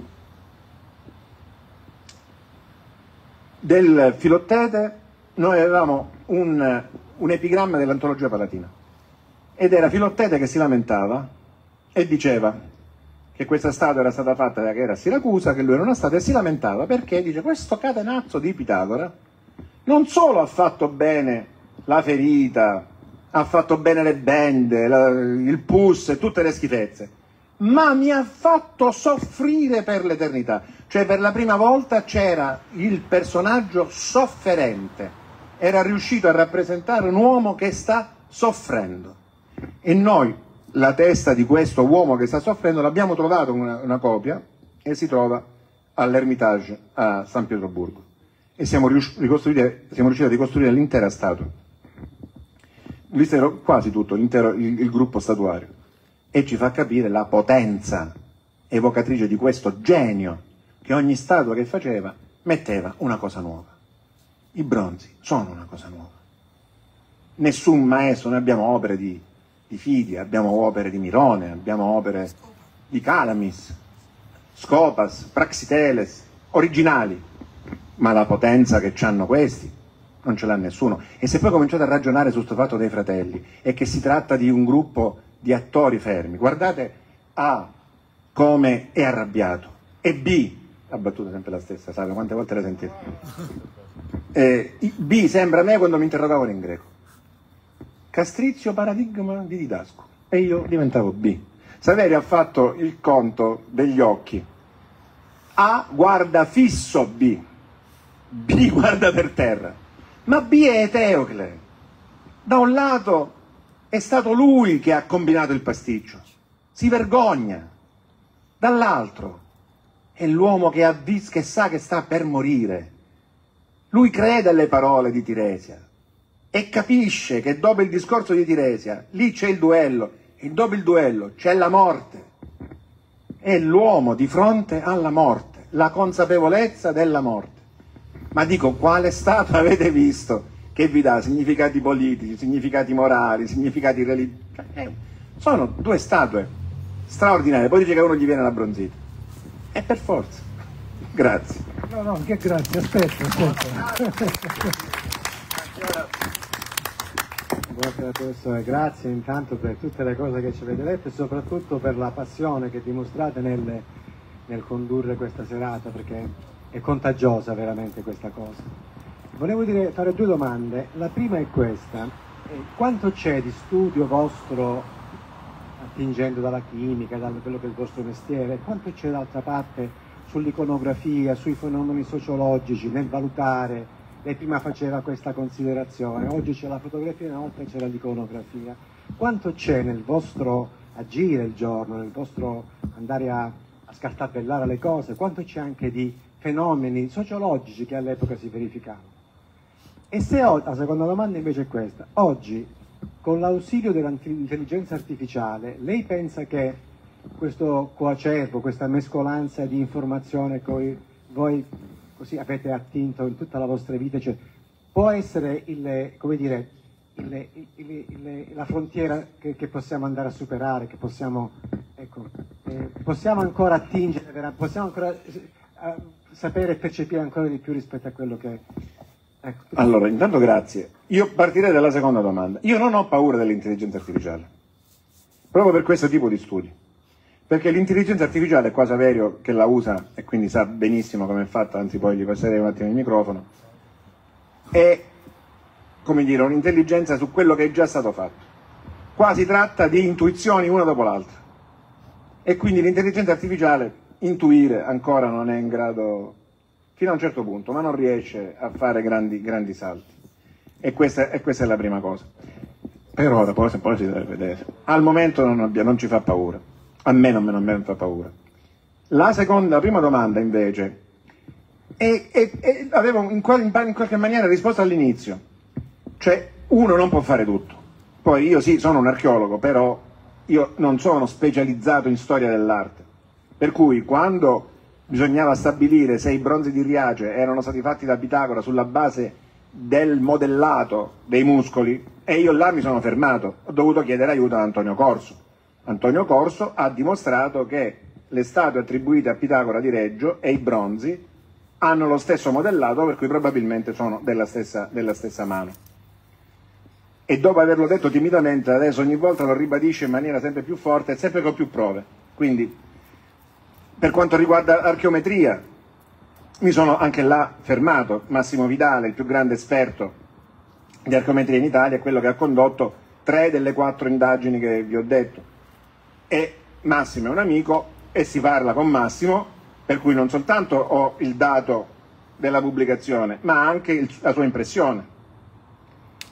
Per quanto riguarda la fusione e tecniche di eh, saldatura, Koichi Ada, un altro amico mio, che è giapponese, e siamo in contatto spessissimo, e Koichi Ada è quello che vi sa descrivere i bronzi, io non saprei, millimetro per millimetro, e mi faceva vedere qui hanno messo il canale di colata, qui hanno saldato a V, qua hanno, salvato, hanno saldato a ovale, ma che vedo io? Non vedo niente. Per cui alla fine è un gioco corale. Io chi, chi sono? Io sono un professore di numismatica e iconografia, per cui la mia parte era quella iconografica. Io vi devo dire, questo è il confronto, questo, questo simbolo significa questa cosa, quest'arma, quando Paolo Moreno mette nelle mani dei bronzi Giovellotti, io là sono andato dal professore Moreno, buonanima, e gli ho detto che non era assolutamente d'accordo, perché il giovellotto iconograficamente è un'arma da vigliacchi. Il giovellotto, piglio lancio, scappo e finita.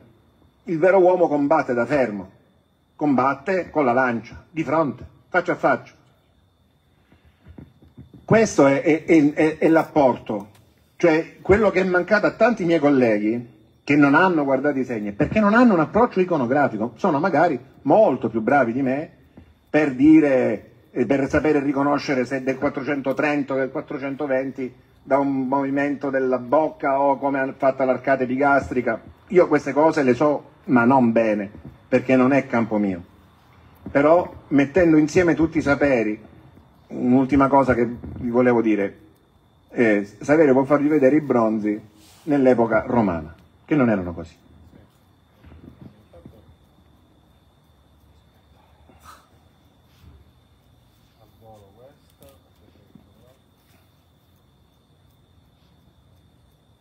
Quando i bronzi vengono portati a Roma, hanno già 400 anni di esposizione sulle spalle. sono una statua del 1600, esposta oggi, di bronzo. C'erano dei danni, fu fatto un restauro molto importante, che solo l'imperatore si poteva permettere.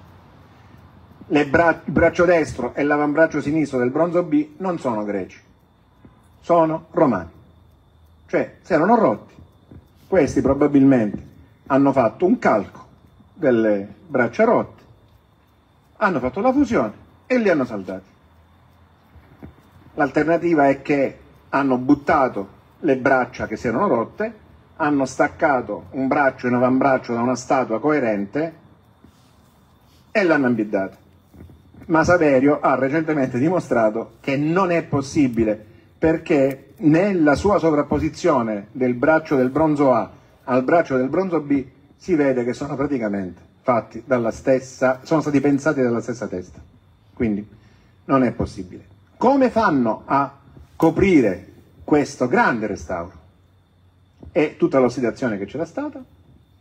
Mi telefona il professore Giovanni Bucculieri, che è l'esperto delle patine, all'Università del Salento, che è l'esperto delle patine dei bronzi, è quello che aveva trovato che il bronzo A aveva un cancro del bronzo gamba, nelle due gambe ed era pericolosissima perché il cancro del bronzo dove piglia distrugge. E l'avevano fermato. E mi dice, senti Daniele, ma perché c'è tutto questo zolfo sulle, sulle statue? Io gli dico, guarda, ti Giovanni, non, lo, non ho idea, c'era per caso a Reggio Coigiata e vado da Ada Sensei, gli dico, Ada Sensei, scusami, ma sta cosa, lui fa così, schiocca col dito e dice ecco, l'avevo pensato, perché ci sono, qua sapete per vedere, vedete questo nero che si vede? Ci sono delle patine nere molto forti e mi facevano pensare che i bronzi sono stati dipinti di nero, sì, qua si vede proprio che c'è sto nero, eh, che sono stati dipinti di nero quando sono stati restaurati. Per cui noi eh, sappiamo che durante il periodo romano i bronzi non erano del colore che avete visto, tanto belli con le barbe bionde e tutte queste belle cose, ma erano eh, a riva, come se fossero delle statue di basalto, o come dice Coiciada, come se fossero dei bronzi di Corinto.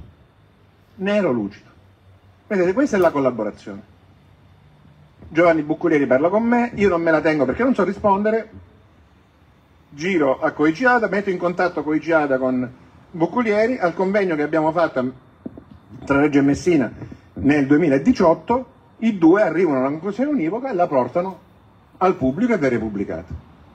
Così funziona. Io non posso sapere tutto, però in questa maniera qualunque informazione che viene condivisa con tutto il gruppo dei ricercatori, per questo sarebbe importante che a Riace si facesse un centro permanente di studi sui bronzi, non per fare granché, per vedersi una volta l'anno tutti quelli che studiamo i bronzi e comunicarci quello che abbiamo imparato, anche per farci dire no, guarda, questo è uno sbaglio, stai andando nella direzione sbagliata. Però è questa, è la somma dei saperi. Uno tutto non può, non può certamente riuscire, poi io, figuratevi. Grazie. Non ci sono domande? Abbiamo finito con le domande, non ci credo. Approfittiamo, ce le abbiamo adesso qua, quando le, le incontriamo un'altra volta. Domanda? Ecco, prego. Solo una curiosità, che cosa c'era ad Argo? Cosa, cose ipotizzate eh, sia? Perché erano là le statue, ecco. Giustissimo, non è, non è una curiosità, è una cosa importante. Allora, intanto il mito dei sette a Tebbe è un mito argivo, perché è vero che i personaggi sono tebani, però lo scontro avviene, parte da Argo, sono il re di Argo che manda sette guerrieri a combattere contro Tebbe. Ma la cosa più importante, due cose importanti sono avvenute alla metà del V secolo a.C. Intanto Argo riesce a diventare padrona dei giochi di Nemea. I giochi di Nemea, insieme ai giochi olimpici, i giochi delfici e i giochi istmici, erano i giochi panellenici i giochi di Nemea erano stati fino a quel momento presi dalla città di Cleone, che non so manco, non l'avevo mai studiata mentre facevo storia greca. La città di Cleone aveva i giochi nemei. Alla metà del V secolo Argo, che è più forte, si prende i giochi nemei. Chi aveva istituito i giochi nemei? Polinice. Polinice, il quale partendo da Argo aveva distratto con la sua bellezza una nutrice che stava tenendo in braccio il figlio del re di Cleone, del re di Nemea, scusatemi, e l'ho appoggiato per terra per andare a parlare con Polinice e questo bambino viene morso da un serpente e muore.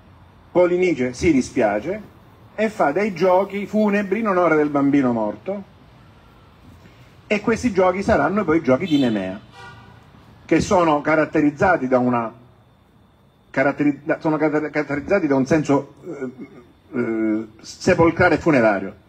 La corona su, che si vince a Nemea è la corona di Sedano, il Selinon, che è la corona che si mette sui morti.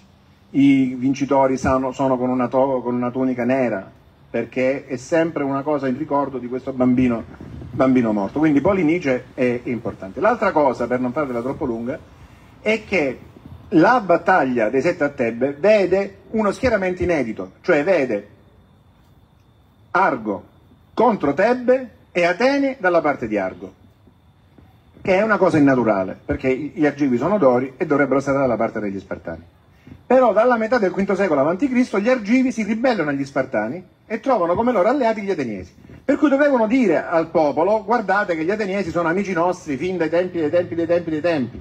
Per cui anche questo significato c'è. Gli ateniesi sono nostri amici nei sette a Tebe, ricordatevi che noi abbiamo avuto dalla nostra parte solo Atene. Però secondo me è preminente il fatto che Polinice sia quello che ha inventato i giochi di Nemea che erano il grande vanto. I giochi di Nemea che durano più dei giochi olimpici.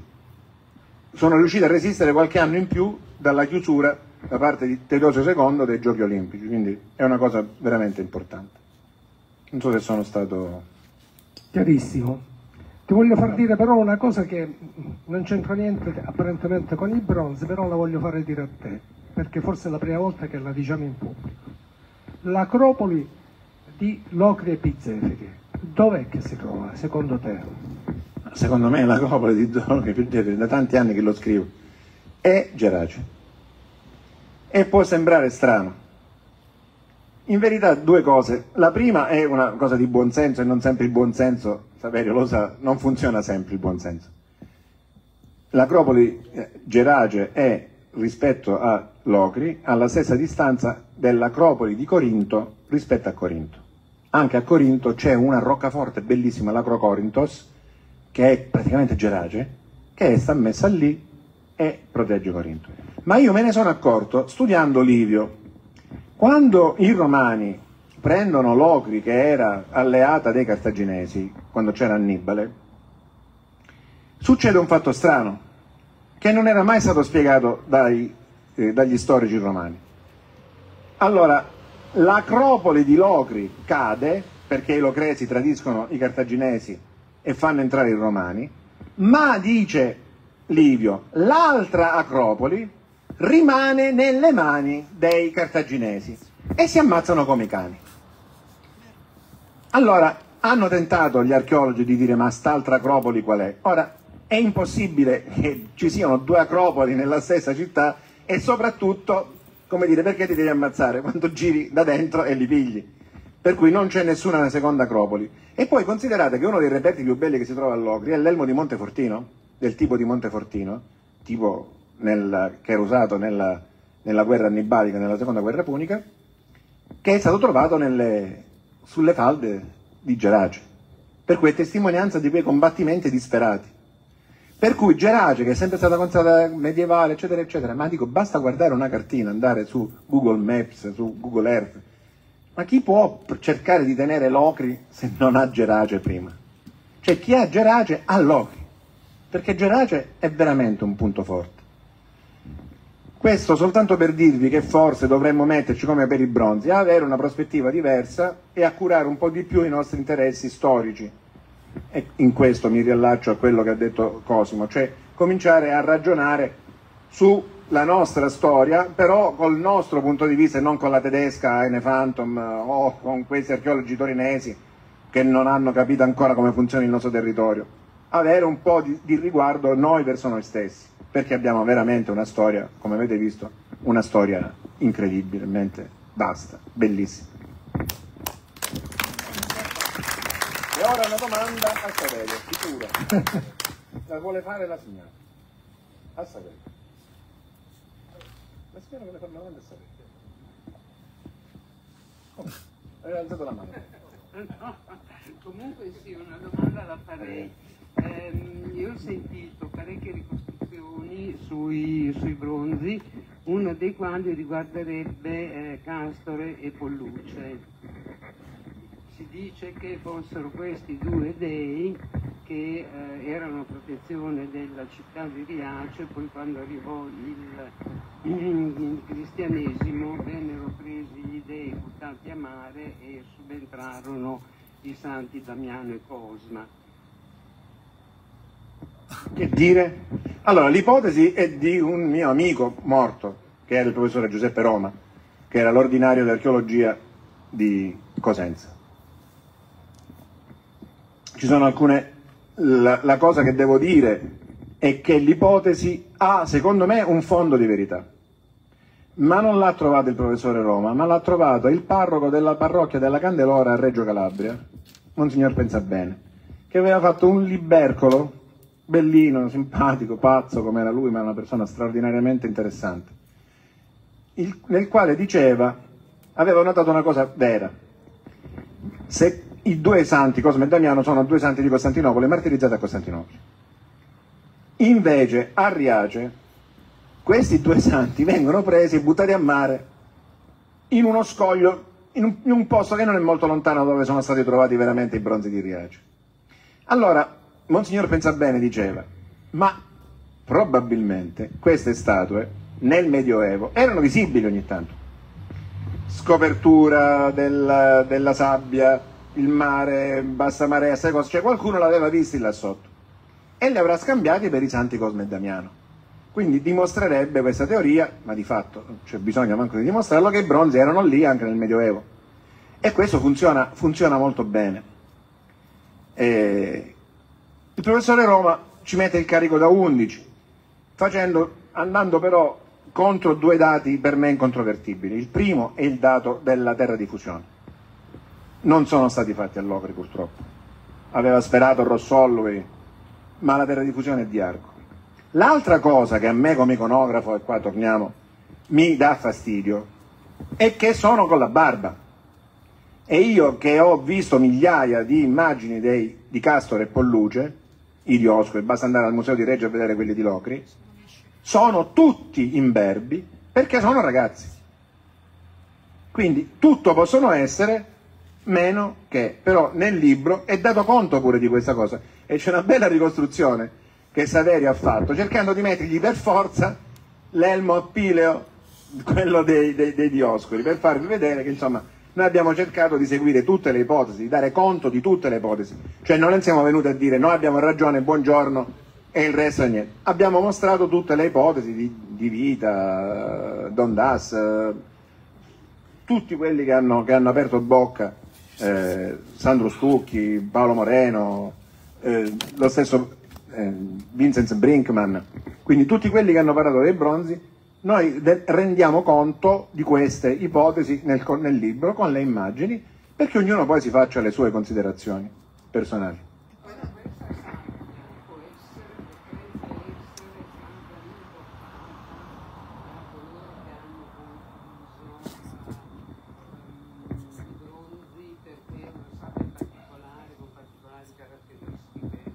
È stato dibattuto nel 2000 in un convegno a Reggio, in sovrintendenza, e qualcuno, siccome era appena uscita la notizia che i bronzi erano di Argos, qualcuno dei grandi, erano presenti il professore Giuliano, il professore Di Vita, Paolo Moreno, erano tutti là davanti a me, io molto più giovane, 24 anni più giovane, ed ero messo in terza fila e loro erano in prima fila e parlavano con Massimo Vidale che aveva appena fatto queste scoperte e aveva chiesto loro la stessa domanda, no? Eh, ma non è che questa sabbia se la sono presa e Vidale rispose in modo molto tranchant, no, la terra di fusione è, te- è proprio sabbia, non c'è bisogno di spendere soldi per prendere la terra di fusione, perché basta qualunque terreno argilloso refrattario che va bene. Diverso è il discorso per la terra, per le saldature. Quella viene comprata. Per cui io ancora non ho approfondito perché non è uscito un articolo scientifico, ma questi due ricercatori di, di, di Siracusa. Parlano di terra di Siracusa, non è detto che non sia vero, perché loro parlano di questa terra nelle saldature.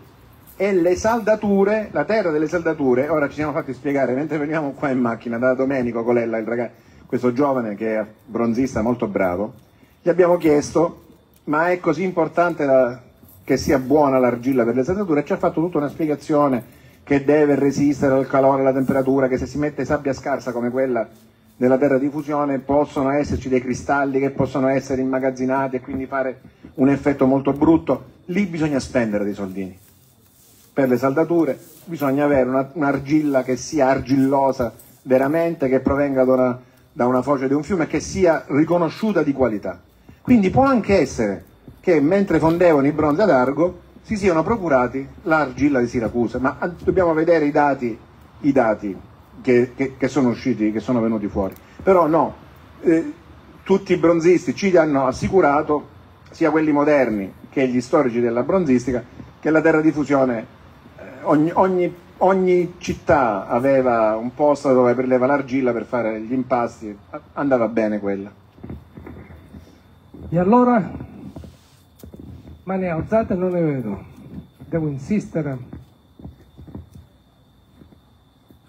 Allora... Ci liberate. Ma è una domanda a sapere, ma inventate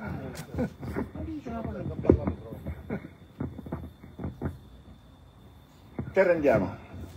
Un applauso allora. Grazie ancora. Grazie, Grazie a voi per la pazienza, vi abbiamo tenuto più di tre quarti d'ora che vi abbiamo detto. Ci vediamo domani sera. Domani sera faremo un viaggio nel 1800 con i viaggiatori dell'epoca.